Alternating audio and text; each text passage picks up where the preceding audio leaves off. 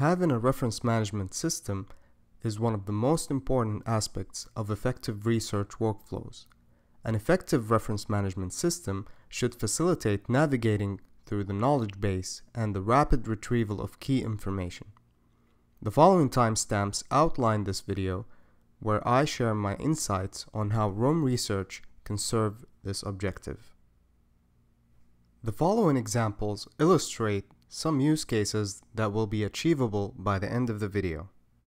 Suppose we would like to find all papers in the database that are related to Project 2.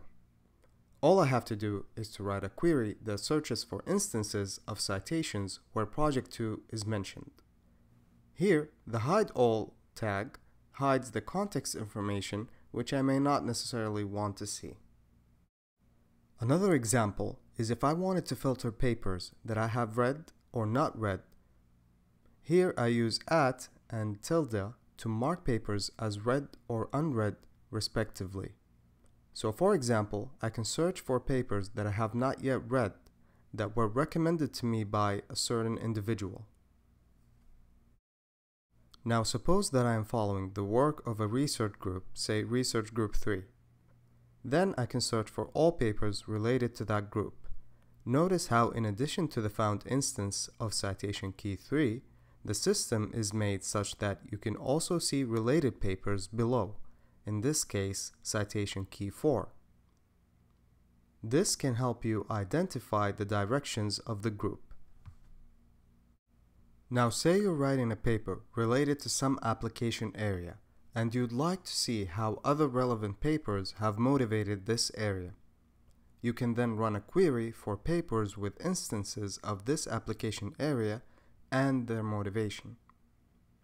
The way I have this set up shows not only how those papers were motivated, but also what thoughts I've had on this matter at the time that I've read it. This way my previous thoughts can resurface and I can further build on them. Another use case is when you're trying to pick a journal to submit your work in progress paper to. With this system, you can search for journals that discuss the key terms of your work. Just run a query that searches for those instances and then develop a list of potential target journals for submitting your work. Here's one that I use very often when I'm in the inception phase of a project. I begin to investigate future directions discussed in the literature pertaining to certain topics. Here, I'm searching for such instances that have whether keywords 2 or 3 in them. You can notice that in addition to those instances, there are also results for my own thoughts on those specific directions, which I may be able to develop further into complete ideas. Furthermore, I can narrow down my search to show only instances with both keywords rather than just one or the other. Finally, this system also allows me to create a reference library that saves custom views for my personal preference, such as a list of only read or unread references. Before describing my reference system, I will cover how attributes work in Roam Research. This is a miniature example where I have three attributes, name, job, and city, that are used to describe the contents of this page. In addition to functioning as regular tags and links, attributes can also be used to construct attribute tables such as this one. Now we have a list showing all pages with these attributes and their values. Unfortunately, in their current state, attributes cannot be used to filter this table given specific values. However, I expect this feature to come in the future. In the meantime, I found a future-proofed method for them to serve this purpose. This method is very simple. Just nest the attributes under one another.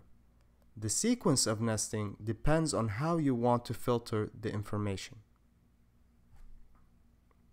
For example, this current layout allows me to filter jobs by cities in a query. By querying jobs in either Atlanta or LA, the results will show both lawyer and doctor. I could also filter any child node by its parent. For example, who are the doctors working in LA? This result will show Jack. Now if you wanted to filter a parent node by its children, you can navigate to that parent's page. Here I'm using city as an example, and I can filter its backlinks by lawyers to find Atlanta. Now I will show you how you can future-proof this system for when the feature hits. All you have to do is to iteratively navigate to the pages corresponding to the children, choose all the instances in your backlinks, and reverse indent them. Here I do this for both name and job attributes. Now you can see how the original pages reflect this change. This is the template I use for reference attributes. The nesting sequence was chosen based on the graph on the right. An arrow going from say the keyword node to the citation node means that I want to filter down citations by keywords using queries and so the citation attribute needs to be a child of the keyword attribute, and so on, so forth.